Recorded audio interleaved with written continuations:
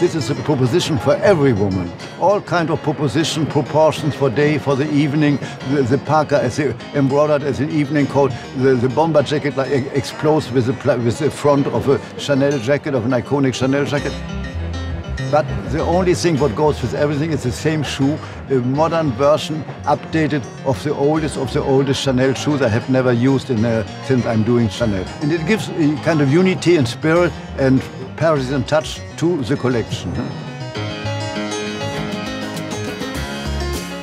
There are many, there are those dresses who, like, who are like suits and the apron skirts. But the apron, you know, that it's a, the, the easiest thing to wear a tight, long skirt. I love tiles, so I, uh, I found a material to make embroideries who look like uh, miniature tiles. I think it's a funny idea. I like it in the context of where those things could be seen, worn and used. This is a collection about down-to-earth women.